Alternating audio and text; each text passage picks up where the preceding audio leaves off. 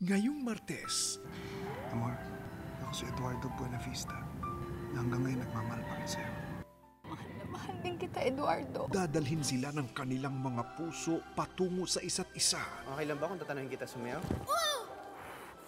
I'm sorry, Charles. Sorry. Charles, sorry. Gusto ko lang talaga kasi makasama si Ina ngayong gabi.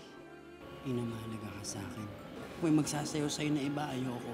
Kasi Ina, gusto ko ako lang magpapasaya sa'yo. Pangako sa'yo. Katapos ng FPJ's Probinsyano